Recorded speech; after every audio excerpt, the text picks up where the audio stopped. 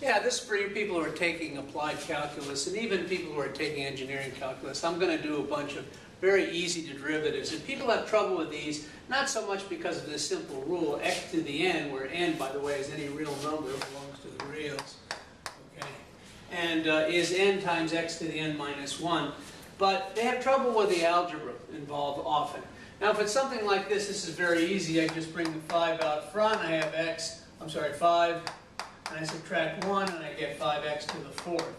That's pretty easy, okay? You can even skip this step and just go right directly to 5x to the fourth.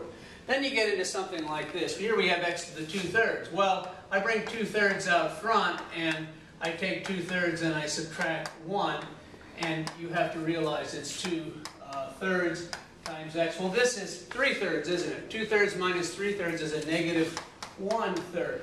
And you might want to bring it down do it as 2 over 3 times x to the 1 third power, which is really, I could use a cube root symbol there too. And this is a little better form if I want to evaluate it at a number. That's 1 third, by the way. And uh, this is this is a fine form just to give an answer. This is the answer, and this is just a little bit better form there. And then we have things like 1 over uh, x cubed. Well, I bring it upstairs and it becomes negative x cubed. I have to put prime there. Remember, always be careful about what you're doing. If you're going to take the derivative, indicate it with prime notation or the Leibniz notation. And then when you write it over here and change it, you can keep the, the prime. And you don't get rid of that until you actually go negative 3x to the negative 3 minus 1, which is negative 4. Now still, you might want to put that x downstairs and it becomes positive. If you bring a a negative exponent from the numerator down to the denominator becomes positive and vice versa. So that's a little better form. If we go over here, we can look at a few more. By the way, I urge you to stop the video and go back because I'm going through these as fast as I can. Now this should have said prime. I almost made the student's mistake. I'm actually taking the derivative of this. And this equals, well I can bring this, this is actually x to the 1 5th power, and if I bring it up to the numerator becomes negative 1 5th power. But now I can use my rule. See, the whole idea is to see all of these, it's just x to the n. And so I bring 1 5th here, and this is x. Now this is negative 1 5th minus 1, right? Negative, let me write that better.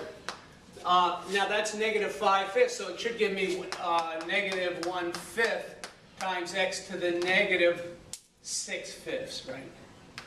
Negative 6 fifths. Again, if I bring it down, I'll get my answer, negative 1 fifth.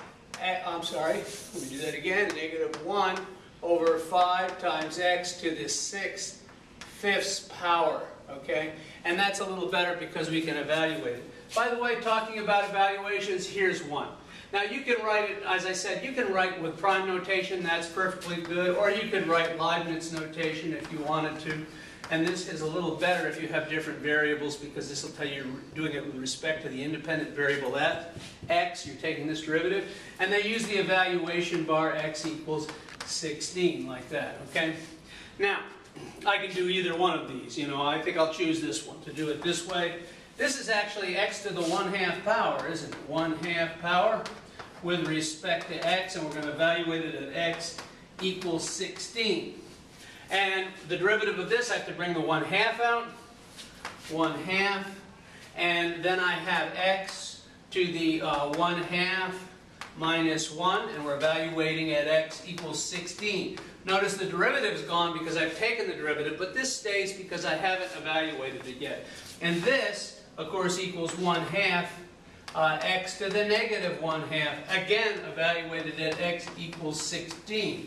Now, I, I can't really evaluate it at a negative exponent, but if I bring the x down, I can say, well, this is 1 over 2 times x to the 1 half power evaluated at x equals 16. Remember that 1 half is the square root. So I've got 1 over 2 times the square root of x. And now I'm going to put 16, and if you can follow me, I'll bring it up here, okay? And I've got 1 over 2 times uh, 16. I'll just use the square root sign now. The square root of 16. And, of course, this is 4. This gives you 8, and it's 1 8 eighth is the answer. But it's the way you do it. You, you keep the derivative, you keep the evaluation sign, all the way till you don't have a derivative, but you still have an evaluation sign. And when you write equals, it has to equal. If you drop the evaluation sign, you no longer can say equal.